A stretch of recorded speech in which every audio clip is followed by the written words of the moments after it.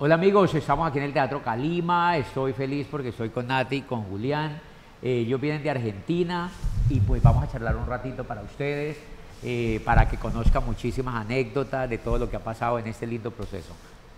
Bueno, no, eh, saludarlos primero que todo, estamos muy contentos de estar acá en el Teatro Calima, un ícono cultural de Santiago de Cali, uno de los lugares más emblemáticos hoy por hoy de nuestra hermosa ciudad.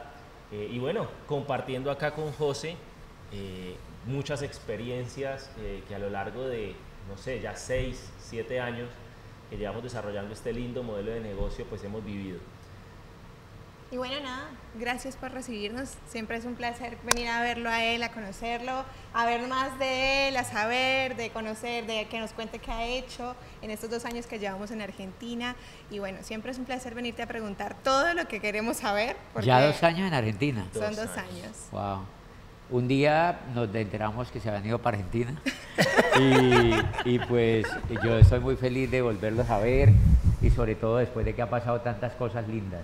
Eh, nada, yo creo que la historia de Julián y de Nati ha sido súper linda, fue súper linda de que la conozcan más todos, porque yo conocí, ¿cuántos años tú tenías cuando tú entraste al proyecto? 23 eh, años. 23, acaba de cumplir 23 años, acaba de cumplir 23 años y recuerdo que una vez yo recibí una llamada, eh, yo estaba en Popayán, yo era diamante ejecutivo, creo. Sí, yo era diamante ejecutivo.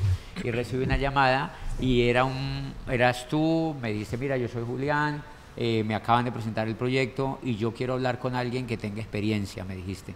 Y entonces eh, yo te dije, ok, yo estoy en tal parte, llego a Cali tal día y hablamos.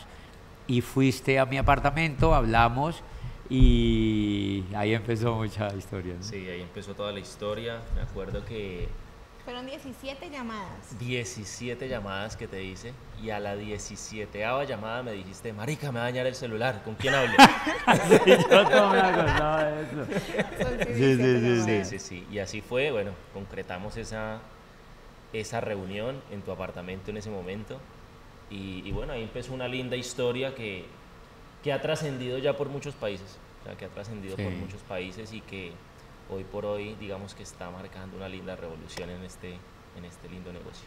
Sí, y, y eso es súper lindo porque el día que yo hablé con Julián, pues le conté un poquito más porque a él le habían contado el negocio, pero a ti te lo han contado, pero seguramente rápido sí, sí, sí. y tal. Y yo me encargué de contárselo bien, con detalles, de darle un poquito de visión y de sobre todo darle información. Me acuerdo que le di información, le dije tienes que escucharte esto, empezar a leer esto y tu actitud empezó a cambiar muchísimo, aunque ya era muy buena, pero empezó a mejorar muchísimo y te volviste muy intenso con el proyecto.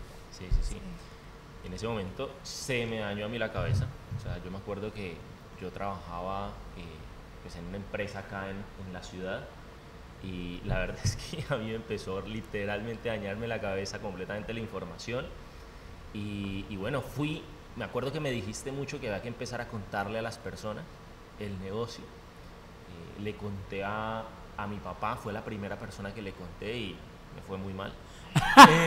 le contaste a tu papá, o sea, era como tu primer plan. Fue mi primer plan, muy mal dado. Eh, y bueno, no sé, le habré contado cualquier cosa. Mi papá abogado eh, me liquidó en ese momento. Y después, con el ánimo muy abajo, decidí dar mi segundo plan y se lo di a Nati. Claro. Y ella te dijo que sí, obviamente. No, yo dije que no, yo dije que no de una, dije que estás loco, Julián, administrador de empresas de la Universidad ICESI, yo estaba estudiando, dije, ¿qué estás haciendo? Y me acuerdo que me llevó al primer megaplan que nos diste, que él hizo 20 personas, fueron 20 personas, ahí estaba mi mamá. Y cuando vos llegaste y bueno, nadie, o sea, nadie sabía edificar porque apenas había empezado, entonces fue, dijo, listo, viene un señor que sabe muchísimo, que no sé qué, a contarnos el proyecto. Con, él, con ustedes, José Bobadilla. Y apareciste. Y apareciste ahí, o sea, nadie sabía. Ya eras doble diamante, porque habíamos, Julián había ido a tu reconocimiento doble diamante. Sí. Y me acuerdo que ese día agarraste y me, y me miraste y me hiciste la demostración en la mano, no sé qué. Yo dije, qué raro. ¿Qué es eso? ¿Qué es eso?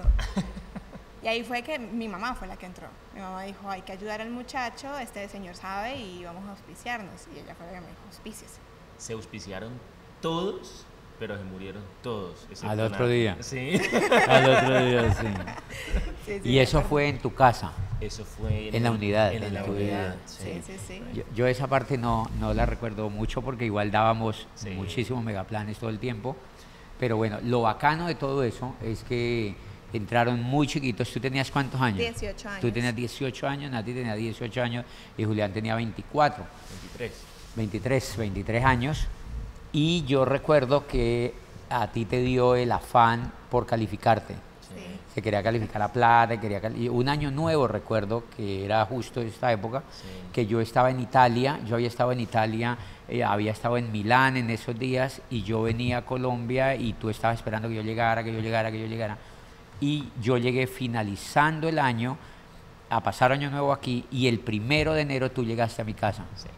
Llegó el primero de enero por la mañana, obviamente todos estamos trasnochados, y era a preguntarme que cómo se calificaba a plata.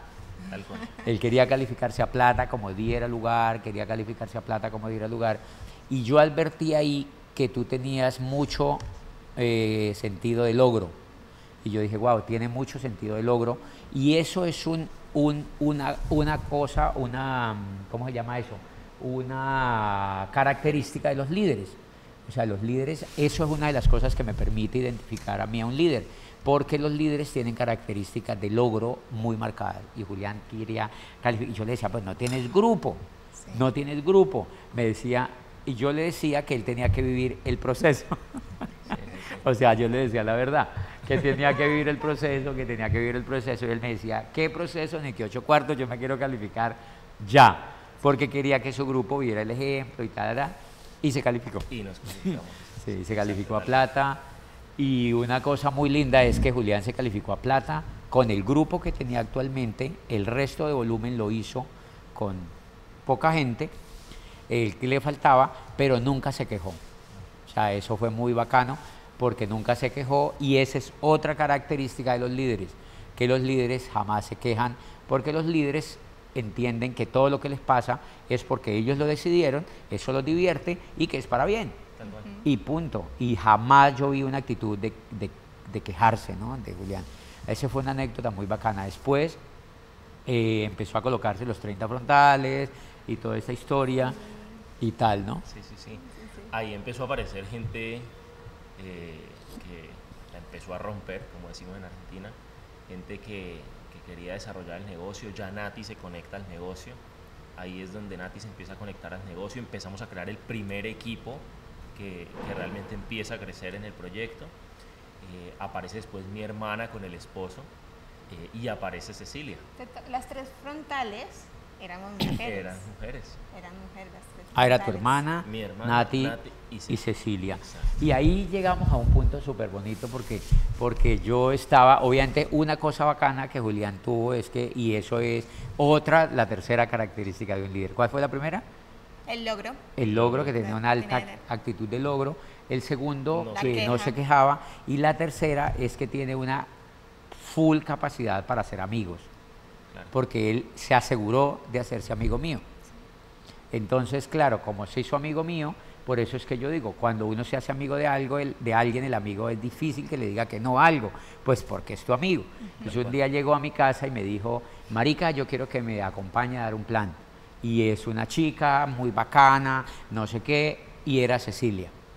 Esa Tal noche eh, fuimos en mi carro, creo que nos fuimos en Sí, mi carro. en tu carro. Estaba fuimos- Miguel Aguado Jr. Sí. estaba Miguel Aguado Jr. también. Claro, no, tú te fuiste en el tuyo porque yo tenía un descapotable, yo me fui con Miguel Aguado en el sí, sí. descapotable, en un Mercedes, y era literalmente a dar un plan tuyo, que es algo que uno no hace. Claro. O sea, es algo que uno no hace porque normalmente uno le da uno o dos planes a un líder, pero no, pero O es sea, que, que había influencia. Claro, obviamente había mucha influencia porque éramos amigos, entonces yo decía, Marica, yo no estoy haciendo nada, pues vamos, ¿no? O sea, era llevarse literalmente un doble diamante a darle un plan a alguien que no conocíamos Claro. y que no sabíamos, yo al menos no sabía quién era. Recuerdo mucho que Miguel fue conmigo y yo le di el plan a Cecilia, Cecilia era chiquitita, ¿no? Sí, Estaba re chiqui, tenía una amiga, una gordita bonita Sí, sí, sí, sí. allí Que que la auspiciamos también Sí. y le sumamos. Entonces, digamos, me acuerdo mucho que ellas dos entraron. Pero hay una anécdota bacana que contar y es que Cecilia cuando entró, eh, no, cuando entró, no, cuando yo le conté el plan, que se lo conté muy eh, como lo contamos, o sea, sin intensidad, Sí, general, en general. y tal. Y recuerdo que Miguel empezó a hablar de Amway. Sí. Uy, eso fue al principio, todos sudábamos. Sí, todos sudábamos. Miguel empezó a hablar de Amway y que Amway se come los niños crudos y que yo no sé qué. Y entonces yo decía, hasta aquí llegó esta Sí, vuelta. ya Sí, se, sí, sí. se pudrió todo. Igual, es que es que a Cecilia no le gustó de una. Cecilia dijo no. Claro. Pero al ver el carro, al ver el Sí, ella me dice que vio un carro Claro. que cuando salimos, Cuando salimos. Aunque Ceci se auspicia. claro, ella se auspicia, pero seguramente por complacernos. Por Sí. complacernos. Pero dice que cuando ella vio el carro en el que salimos, a ella le llamó la atención. Tal Porque finalmente aquí habían en ese momento dos carros de esos, Sí, sí, sí. uno gris y el negro Sí, mío. exacto. Entonces a ella le gustó. Y a la gente joven un carro descapotable le gusta, ¿no? Lo cual. cual no quiere decir que si no se tiene eso no se puede hacer. pero eso, eso lo dijo Cecilia. Bueno, pero hay otra anécdota que es muy bacana. Hay otra anécdota que es muy bacana y es cuando tú te calificas a plata. Esa anécdota yo la he contado en una convención y ha sido, o sea, porque es linda. Eh, cuando a él le faltó volumen para calificarse a plata, él tenía un profesor Sí. cuyo nombre no vamos a, a invocarlo aquí por, por respeto al profesor, pero él tenía un profesor dentro de su grupo que era muy buen tipo, muy buena persona, y entonces cuando yo le pregunté dónde se había hecho el volumen de esa calificación, él me dijo, fulano hizo un 12% personal. Entonces yo le dije, Marica, eso es mucho. Eso es mucho, esa persona está recién entrada, eso no es lo que hacemos, normalmente eso no va a funcionar porque esa persona va a quedar con el producto en la casa y no lo va a mover y seguramente se va a quejar. ¿Cómo van a hacer? Él no va a mover ese volumen, ¿cómo van a hacer para mover ese volumen? Entonces Julián se quedó viéndome y me dijo, ah, no, yo no sé, yo le dije a él que aplicara las técnicas de mercadeo que él me enseñaba en la universidad. Porque el profesor había sido profesor de estrategias de mercadeo de Julián en la universidad. Y la verdad, para mí eso fue una respuesta brillante. Y yo dije, Marica, no le pregunto más cosas. Porque era brillante la respuesta. Y tanto era que yo después la conté en una convención y yo conté un poquito. Porque en ese momento, y ahora también, siempre contamos para enseñarle a la gente cómo encontrar un líder y cómo es de fácil encontrar un líder y cómo es de sutil encontrar un líder. Y he contado en varias partes ese pedacito que, que de verdad fue muy ejemplar. Además, el profesor nunca se quejó. No, no se quejó. Él nunca se quejó porque lo que Julián pensaba de ese profesor, que aplicara las técnicas de mercadeo, pues era cierto. Sí, sí, sí, lo, y lo movió. ¿Y lo aplicó? Claro, Y lo aplicó. seguramente las aplicó muy bien para no quedar en ridículo también con, con Julián porque el alumno lo estaba observando, ¿no? Sí, el alumno lo estaba observando. Bueno, y volviendo al tema de Cecilia, esa noche la auspiciamos formalmente, pero el proceso siguió, le dejamos información, ¿verdad? Sí, a Ceci le entregamos ahí información. Eh, Ceci después cuando se conecta realmente con el negocio es cuando va a una convención. Ceci hacía parte de un equipo de liderazgo eh, a nivel mundial y ella empezó a comparar mucho las actividades que hacía en, ese, en esos escenarios de, de- de esos cursos que ella hacía y lo que era el negocio de Amway. Entonces eh, ahí Ceci, digamos que se empieza a conectar mucho más, empieza a ver que puede desarrollar todo lo que ha aprendido en esos, en todos los talleres y todos los, los- los- digamos la experiencia que había vivido en ese, en ese espacio. Eh, se conecta, se empieza a enamorar del negocio después de la convención. ¿A cuál convención fue ella, Bogotá? No, No, una una Aquí. de acá, una de acá. ¿Tú la llevaste? Sí, sí, sí, sí. Y eso le impactó. Eh, la estrategia era simple, o sea, esa la Siempre apliqué nos siempre. aplicó con las tres, aplicó esa, de que vas a la convención, anda a la convención, yo te pago la entrada, es así, yo te pago la entrada. Si no te gusta, no me la pagas. Si Y te gusta salgo. y yo me salgo, o sea, era siempre. Así aplicó con la hermana también, o sea, las tres nos aplicó si la no te misma. gusta, yo me salgo. Yo me Sí, salgo. Y te devuelvo la salgo plata. Y te devuelvo la plata. Si no, si no te gusta, yo me salgo y no me pagas la entrada. Si te gusta, me pagas la entrada. Y obviamente las tres salíamos llorando de la convención, emocionadísimas. entonces Las tres salían llorando. Obviamente, entonces ahí fue, ya tuvimos Claro. que pagar la entrada y así entramos. Sí. Y ahí Ceci se enamora del proceso y después es que nos dice que se va a vivir a Argentina. Que, que ella quería desarrollar un poco más eh, otro tipo de cosas, que quería vivir otras experiencias. eh, que tenía una beca también para, para, hacer unos estudios y un tema de, de, labor social, creo que era algo así, en Argentina. Y, y, pues que ella había tomado la decisión de irse para Argentina. Nosotros en ese momento dijimos... Acabó esto. Se acabó esto. Ahí yo me acuerdo que tú me contaste, yo dije, pues pensé, porque yo dije, en Argentina no tenemos ni un socio, no tenemos eventos, no, tenemos ni idea cómo funciona allá el mercado. Y eso también nos enseñó muchísimo porque, eh, o sea, nos enseñó muchísimo. Sí, Entendí, se fue entonces para Argentina y ahí empieza la, la segunda parte de todo. Claro, ahí Ceci, eh, en ese momento Ceci desaparece por un tiempo. O sea, Ceci desaparece por un tiempo y me dice que cuando, cuando ella se va a instalar, porque primero se va a instalar allá, y que cuando se instale, eh, pues nada, se comunica con nosotros porque ella sí quería hacer el negocio. O sea, nuestra esperanza era mínima, o sea, obviamente nosotros decíamos, no, ¿qué va a pasar? realmente no, no va a pasar absolutamente nada.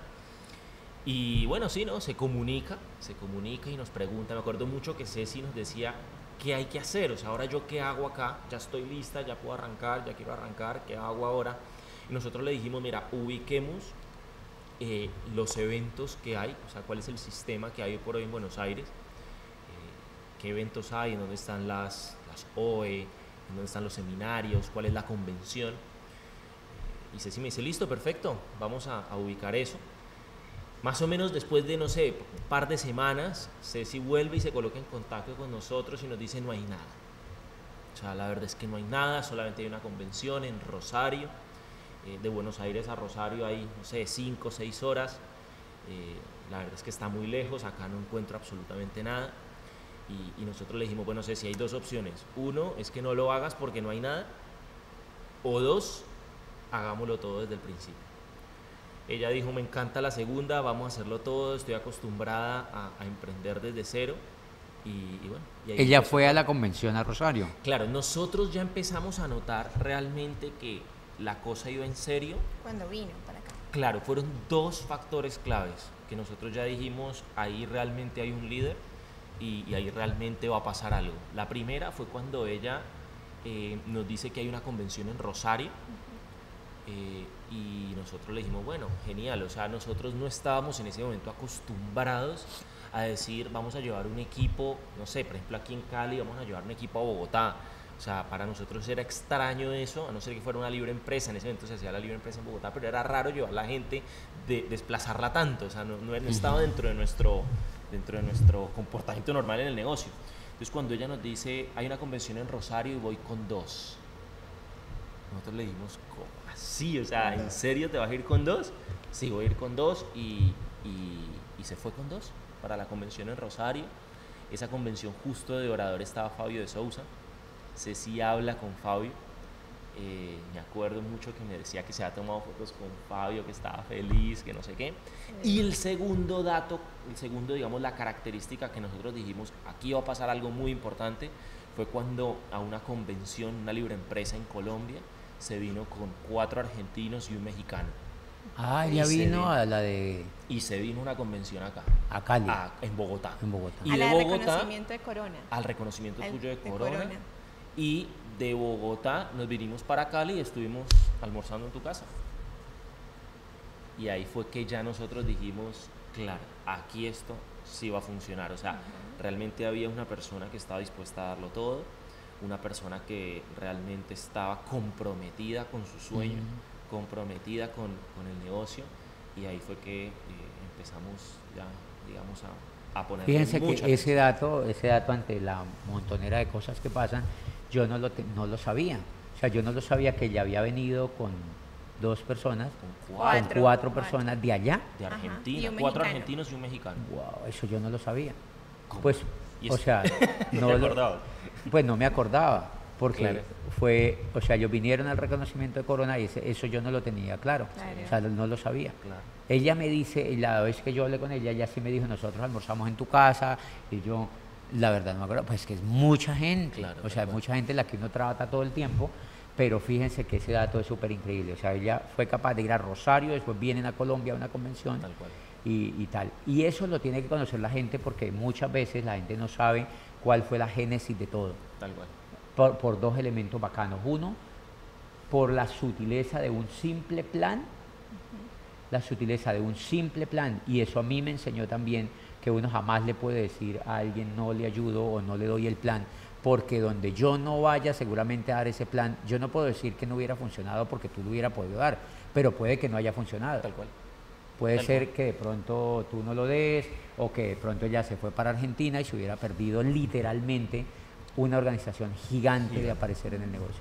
Y eso nos enseñó de que jamás podemos decir no le demos el plan a alguien o, o yo no lo hago porque no es mi enfoque, o por- no sé, o sea, ¿me entiende? Sí. O sea, eso nos enseña muchísimas cosas y eso lo que nos dice es que todo el tiempo estamos aprendiendo. Y la otra cosa que me enseñó mucho eso es que cuando uno hace un sacrificio para ir a una convención o a un país lejano por una convención, eso marca algo grande.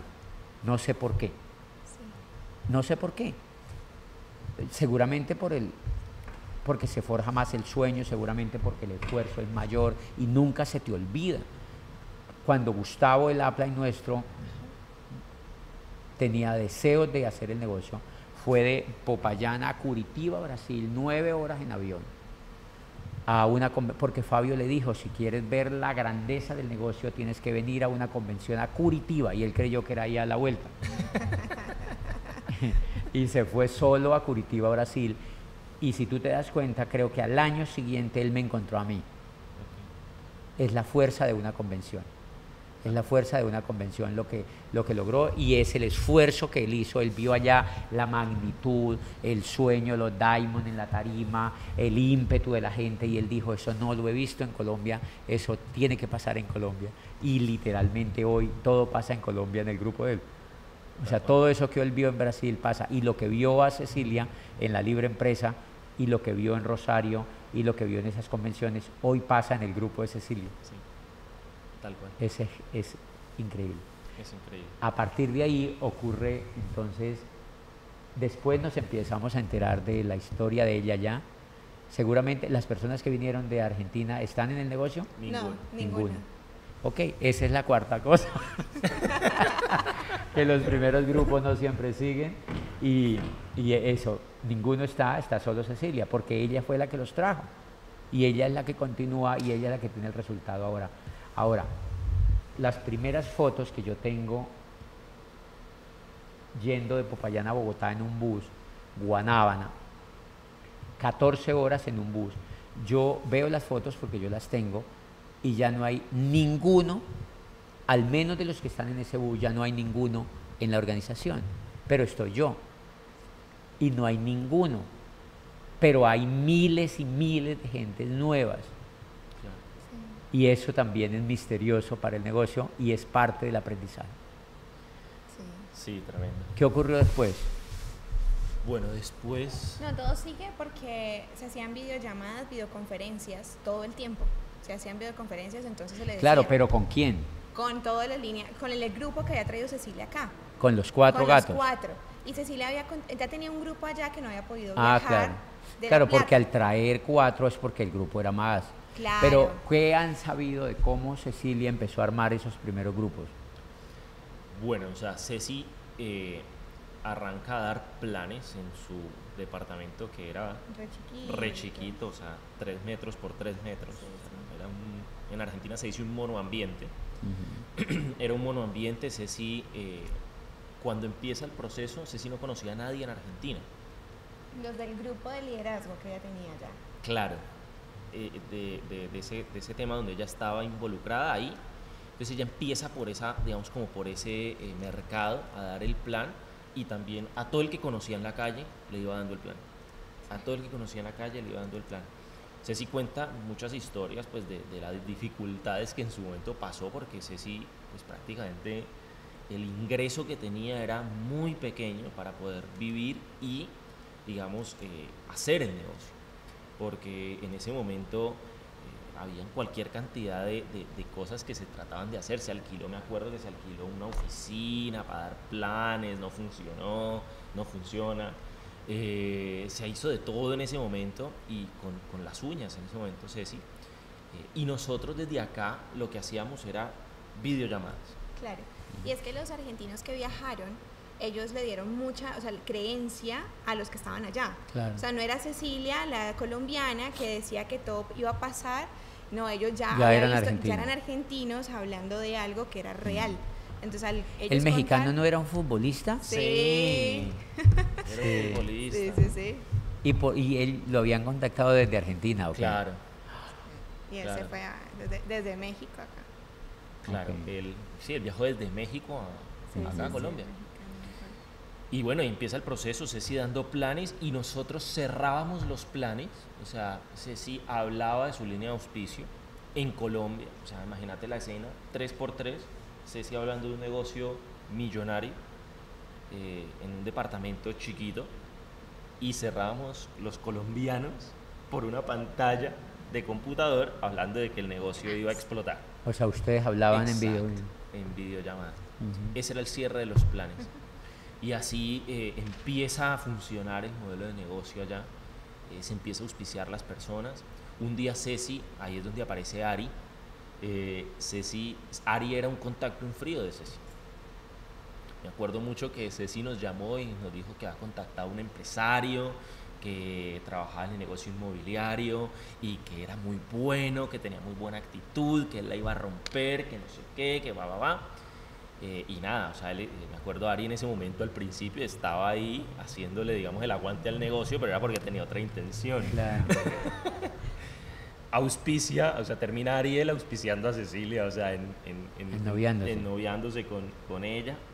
eh, y empieza un lindo proceso de ellos dos como Sí, pareja. Ahí, ahí agarran mucha fuerza Eh, también. y el negocio agarra una fuerza bastante linda cuando ya entra Ari, porque Ari, Ari le entrega al negocio en Argentina El argentino. Componente exacto. argentino. Claro. El conocimiento Claro, lo de la argen- cultura. tal cual, lo argentinizó. Claro. Ese, ese pedazo es súper importante. Sí. Sí. Ese pedazo es súper importante porque la gente desconoce las claves para abrir un mercado y, y es que para abrir un mercado tiene que haber alguien que lea el código cultural de ese Claro. mercado. Y seguramente uno como colombiano jamás va a leer el código cultural de un país tan especial como Argentina. Claro, Entonces, que irte a vivir un tiempo. Claro, y, y eso que sigue siendo extranjero. Extranjero. Y te van a ver como extranjero. O Tal sea que ese componente de Ariel fue determinante Sí. en el proceso. Tal cual. Sí, Empiezan sí, a, sí. a auspiciar a argentinos. Claro. Claro, Ari, Ari empezó, por ejemplo, en cosas No, tan simples. el mate, o sea, el Ah, el mate es una cultura que nosotros no tenemos. Entonces, Ari le decía a Ceci, hay que tomarse el matecito con el, con el argentino para ir charlando e invitar a tomar mates, no invitar a contar un plan, sino invitar a tomar mates. Y así fue que Ari empezó, Claro. y empezó, y empezó. Claro, se cambiaron cosas de la, de la O, sea, cosas tan simples como que los que Ah. estuvieran afuera No fueran no colombianos. fueran colombianos, Claro. Claro. sino que recibieran argentinos los argentinos. Claro, el acento. Y ese tipo de detalles fueron Hechos determinantes que, que Ari empezó a generar ese cambio y ahí es donde el negocio empieza a crecer, eh, empieza a crecer el negocio mucho en la ciudad de La Plata. Eh, hay un chico que se llama Nicolás Sánchez que, que en su momento determinante en el crecimiento porque fue una de las personas que más creyó en el sistema educativo Sí. eh, y empieza a recomendar libros, libros, libros. Fue, fue incansable con el sistema educativo. Hoy Nico es platino fundador del negocio. eh, y Nico empieza ese proceso educativo junto con Ceci, con Ari. eh, y ahí es donde empieza a ocurrir la magia. Sí, Nico fue un gran apoyo para Cecilia. Muy, muy buen apoyo, porque fue el que creyó, fue el primero que creyó. en la ciudad de La Plata. Y ahí empieza a ocurrir, empiezan a aparecer eh, personas bastante, eh, bastante lindas. Me acuerdo mucho que eh, aparece Yami Cañete. O sea. Yami Cañete aparece. Eh, nosotros veíamos que el negocio en La Plata estaba muy, muy loco, o sea, era muy, muy... eh, Caliente. sí, muy caliente, empieza a crecer y de una manera muy, muy, muy rápida. Pero nosotros veíamos que había mucho desorden, o sea, como que decíamos, ¿y ahora esto por dónde lo agarramos? Y ahí es donde aparece Yami Cañete y lo vemos seriecito, bien puestecito. Y nosotros dijimos, bueno, aparece un líder eh, que, que- nosotros vamos a agarrar y vamos a, a empezar a empoderar. Y le decimos mucho, le- me acuerdo mucho que le decimos Yami, cuando aparezca un líder, cuando aparezca un líder, o sea, da los planes que tengas que dar, pero cuando aparezca un líder, por favor, preséntanoslo apenas aparezca. Y un día, Yami nos llama y nos dice, apareció un líder. quiero que lo conozcan, se llama Pablo Di Benedetto. Ya aparece Pablo, yo me acuerdo que hacemos una videollamada con Pablo y Pablo, no, pues, o sea, desde que nosotros empezamos a hablar con Pablo por, por, la videollamada, eh, nos decía, sí, no, ¿qué hay que hacer, boludo? Yo lo hago, nos así. ¿no? me dé tanta bola. no, me des tanta vuelta, ¿qué hay que hacer? Yo lo hago. Entonces, eh, nosotros le empezamos a decir puntualmente, mira, Pablito, hace esto, esto, esto y esto. Eh, me acuerdo que termina la videollamada y yo ese mismo momento le digo a Nati, Chiqui apareció el primer diamante de la organización. Y en ese momento yo creo que también, me acuerdo que te lo dije, José apareció alguien muy bueno en Argentina, ese chico se va a hacer diamante en el negocio. Obviamente en ese momento era todo una... sí, era una, emoción, una ilusión. Eh, y bueno, Pablo empieza a, darle una dinámica eh, diferente al negocio empieza a profesionalizar demasiado el negocio allá, lo ordena mucho en La Plata. Hay una, hay, una, hay una anécdota y es que cuando empezamos a tener noticias de Argentina, hay alguien que nos mandaba un videito por WhatsApp dando un megaplan. Una, ¿Quién era? Sí, sí, sí. ¿Tú te acuerdas? sí, sí, sí. Pero, Fernando, Fernando Díaz. Fernando Díaz. Sí. Él, él, es, él, él aparece antes de Pablo. Él es parte de la línea de auspicio.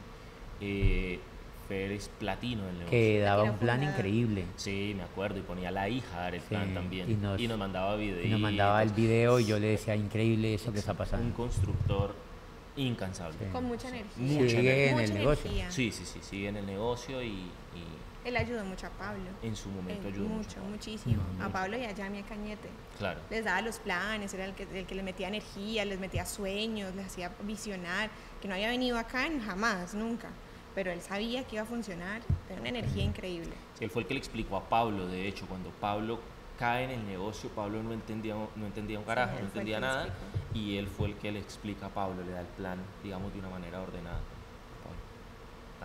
Y, y, bueno, a partir de Pablo se arma una revolución increíble. Fue el primer diamante de Argentina, de la organización.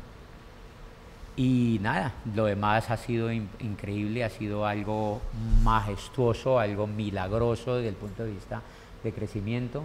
Eh, ahora mismo, y, hay unos elementos súper bacanos, y es que el crecimiento ha sido muy sostenido y muy equilibrado en el sentido de que eh, cuando nos vimos en Bahamas, eh, con ellos, yo los vi en Bahamas y tenían, no sé, 20, 30 líderes en Bahamas que hicimos desde la suite donde yo estaba, un indirecto, y, fue mágico porque era la primera vez que yo los veía a ellos.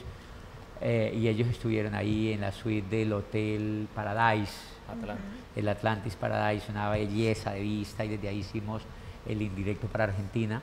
Después nos vimos en Las Vegas, eh, en el club de, en el seminario de liderazgo de Las Vegas, pero ya eran más del doble o sea, había, hablamos de más de 50 líderes en Las Vegas, quizás, bueno, entre 40, 50 líderes, y ya estaban mucho más locos, ya se veía mucho, pero lo que nos voló literalmente la tapa fue ahora en el seminario, en el crucero, en el seminario de liderazgo del crucero, donde habían cerca de 100 líderes, y eh, un grupo increíble de esmeraldas, eh, ya nuevos diamantes, Ceci, Arie, eh, y, y, Yamil, y Yamil Raidán, ¿no? Entonces, eso ha sido increíble, ha sido impactante el crecimiento de Argentina. Y esa noche que hablamos con ellos en una sala que transmitimos para Argentina, eh, nos hablaban de que era muy posible que hacia em, el seminario de liderazgo de Orlando fueran 500 líderes. Porque con lo que se prevé de Argentina y con el liderazgo que tienen, además hay un número de esmeraldas muy grande comparado la edad del negocio en Argentina hay un número de esmeraldas muy grande y un número de esmeraldas muy joven, o sea, en edades son muy jóvenes y eso me dice mucho del futuro que tiene Argentina, porque cuando los líderes son muy jóvenes, cuando los líderes llegan muy jóvenes a Esmeralda, eh, ellos tienen mucho que aprender, tienen mucha resiliencia todavía, tienen muchísima eh, muchísima esperanza y sobre todo tienen muchísima fuerza para crecer y son los que llegan a diamante, doble diamante, diamantes ejecutivos y más allá. Porque la historia del mercado en Colombia es que las personas que hoy tienen pines altos, eh, excepto yo, entraron a los 20, 21 años.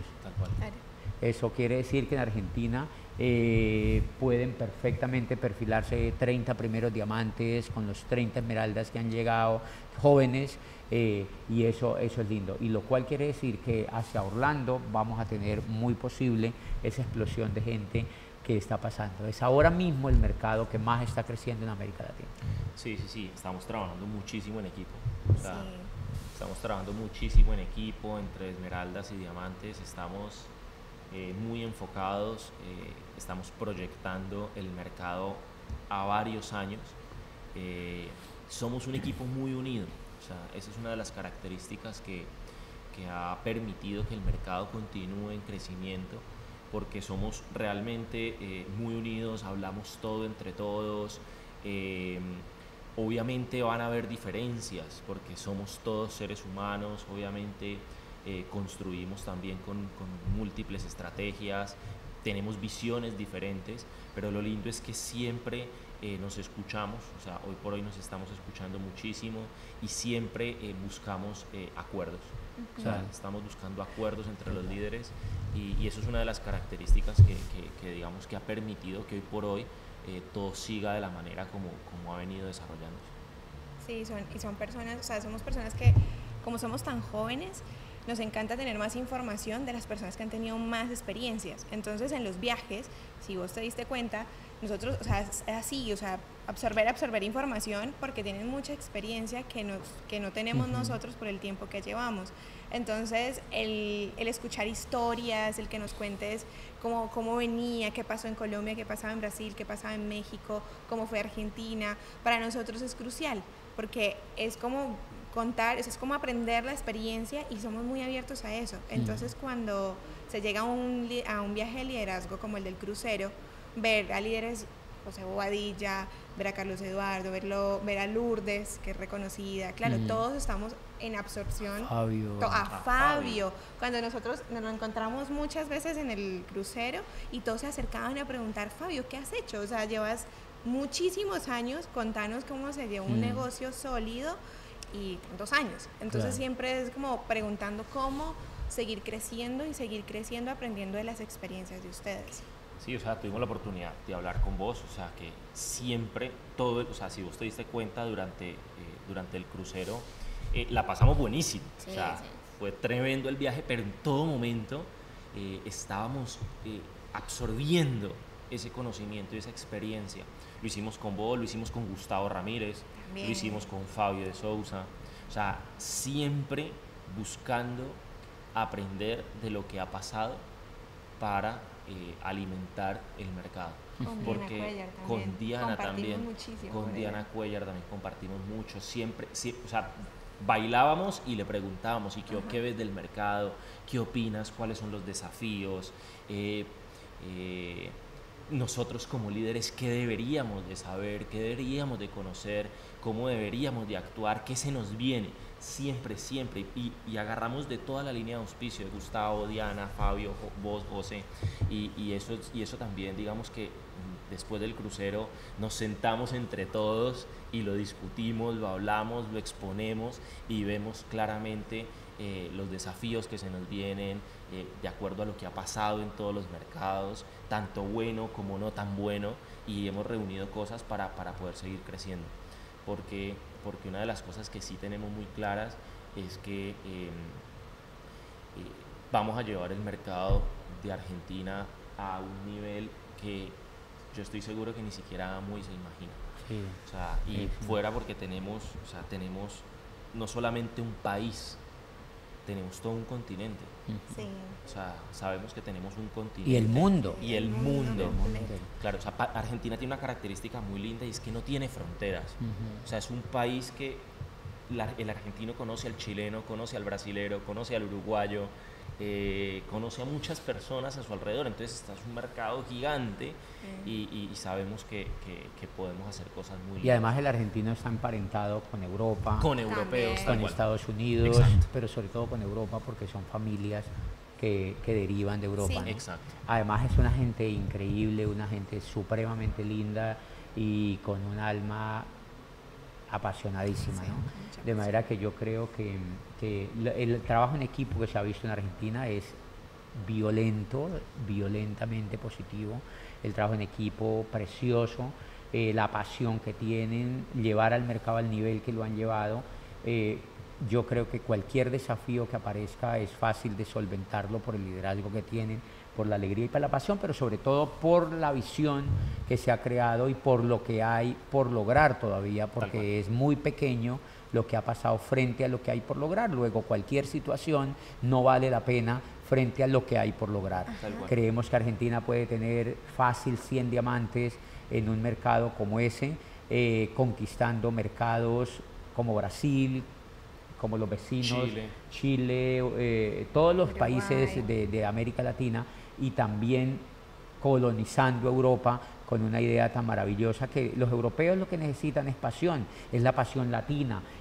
Cuando el europeo vea la pasión latina, eh, el europeo resucita de nuevo, porque lo que le pasa al europeo es que es una cultura ya muy desapasionada.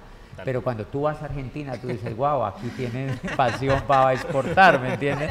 O sea, es, un país que podría exportar pasión como un producto. De manera que, es, muy lindo. De manera que les enviamos a todos los argentinos, a toda la gente de Argentina, eh, todo nuestro corazón desde Colombia. Estamos felices, yo estoy feliz aquí con Julián y con Nati, porque ellos son un ejemplo para los líderes y para los jóvenes de hoy que ven el negocio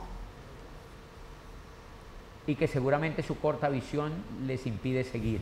Pero ellos vieron el negocio chiquito, 18, 23 años, y ellos tuvieron épocas de desierto, donde auspiciaban personas que nada que ver, donde auspiciaban gente que no seguía, donde no tenían grupos viniendo a los eventos y donde los resultados parecían nulos. Yo recuerdo una cosa, una anécdota que una vez Julián me contó que sus papás aunque son adorados, por supuesto, porque son sus papás y, lo aman, pero los papás siempre porque te aman te van a recriminar lo que haces. Eh, obviamente le recriminaron que se hubieras, eh, porque hay una anécdota increíble, Julián me dijo, cuando ya éramos muy amigos, me dijo, ¿qué opinas si yo me salgo de trabajar? Él trabaja en una multinacional súper importante en Cali y era, estaba en el área de mercadeo y tenía mucho futuro ahí porque es muy pilo para el mercadeo y entonces me dijo un día, ¿tú qué opinas de que yo me salga de trabajar? Y yo le dije, yo no te lo recomiendo, eso no es bueno, tú no lo deberías hacer. Y él me dijo, el problema es que ya lo hice, ayer renuncié y ya estoy por fuera. Entonces yo dije, pues bueno, o sea, ya ahí no hay nada que hacer. Entonces, pero él tuvo una situación obviamente porque al principio el negocio te prueba, te prueba el liderazgo, la perseverancia. No puedes pretender ganar 2, 3 millones o 4 millones llevando dos meses. O sea, porque no has construido nada y en eso la gente es muy ingenua. O sea, no construyen ni quieren ganar. De manera que Julián obviamente empezó a tener jalón con los papás y me dijo un día, necesitamos hablar con mis papás para que no me jodan. Y entonces, y yo hice un almuerzo, yo hice un almuerzo en mi casa con el papá y la mamá y Julián, y yo les dije que cualquier papá, le dije cualquier papá sería orgulloso, estaría feliz de que su hijo hiciera una actividad como esta, yo le dije, porque ningún papá puede ofrecerle a un hijo un vehículo más potente que el negocio de Amway para generar futuro. Ni la carrera, ninguna carrera ninguna universidad, ninguna empresa tradicional se compara con el resultado en todos los sentidos que tiene el negocio de Amway. Entonces yo le dije, apóyenlo, pero tienen que tenerle paciencia. Él es un niño brillante, no se imaginan lo bueno que es, el carisma que tiene, el corazón que tiene, su visión, tienen que apoyarlo, tienen que sentirse orgullosos de que él vea ese tipo de negocio. Yo me acuerdo que su papá se quedó viéndome y me dijo, listo, lo vamos a apoyar, pero tú no estabas ahí en ese momento. Yo hablé con ellos a solas y me dijo, listo, lo vamos a apoyar. Les dije, y ustedes se van a dar cuenta del futuro que ellos van a tener, que él va a tener y el futuro que puede darles a ustedes cuando ustedes estén viejos, pero tienen que apoyarlo. Y lo más lindo y lo que yo quiero contarles a toda la gente argentina y a toda la gente que nos está viendo en el mundo eh, a través de nuestro canal es que eso es lo que un joven jamás tiene que perder en la perspectiva. Y es lo que puede pasar, lo que puede pasar si Julián y Nati se rajan, Argentina no existiría hoy, miles de jóvenes argentinos no tendrían la felicidad y la oportunidad que hoy tienen, miles de jóvenes argentinos no, no, estarían soñando como estarían soñando hoy. Lo cual quiere decir, y eso me lo dice a mí también, que cuando una persona se raja en una oportunidad tan brillante como esta, no le puede pedir más a la vida después, ni tampoco puede recriminarle nada a Dios ni a la vida de que nunca tuvo una oportunidad, porque lo más grave es que una persona que se raja en este increíble negocio le ha invalidado a miles o a millones de personas la oportunidad de que conozcan un negocio tan lindo. De manera que pues Nati y Julián merecen toda nuestra edificación, eh, toda nuestra admiración y respeto porque ellos han sido eh, muy, muy fuertes y muy divertidos además porque no han sufrido. Yo sé que ustedes no han sufrido, han estado parchados en el negocio, pero lo más lindo hoy han creado el milagro de un mercado que ya existía, que en teoría era un mercado viejo, porque ya existía, pero faltaba la pasión, faltaba la visión de un modelo educativo como el que nosotros proponemos, lo cual es el corazón del negocio de Amway y eso fue lo que causó en última haciendo la explosión en Argentina. Para que felicitaciones Julián y Nati, súper lindo que hayan estado en Cali en esta feria y que hayan estado en el teatro, que hayamos hablado, que estemos tan felices con todo lo que está pasando y apenas está comenzando todo, apenas está comenzando todo, eh, estaremos siempre juntos respaldando a todas las personas que sueñan con hacer lo que ellos están haciendo porque ellos están eh, demostrándole al mundo y a los jóvenes que la oportunidad es real y que es más que real, que es ética, que es justa y que se da a aquellos que perseveran. Feliz año para todos, que cumplan todos sus sueños, que sean felices este año, que pasen con sus familias y para todos los que tienen el negocio en las manos en este momento, sabemos que todos los años de aquí en adelante van a ser años nuevos distintos porque nosotros, o al menos yo, yo llevo 15 años eh, donde no volví a dar vueltas por la cuadra con la maleta, ni me volví a comer las 12 uvas en el año nuevo, porque yo ya sé, ni las lentejas, volvimos a contar lentejas debajo de la cama, porque ya sabemos que el futuro lo tenemos en las manos y que es el esfuerzo nuestro, el liderazgo y la visión la que causará cualquier resultado que queramos en la vida. Un feliz año para todos. Feliz año, feliz año. Feliz año para todos los argentinos y tu mundo.